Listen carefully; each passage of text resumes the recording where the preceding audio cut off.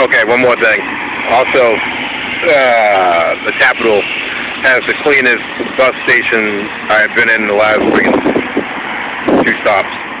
Because the South Station was fucking horribly nasty and disgusting, and I wanted to puke just walking in there.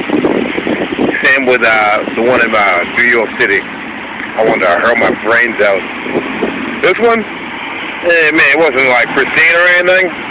You know, nothing that, you know, house was working, but it was good enough for me to shave in. It was clean enough for me to shave in.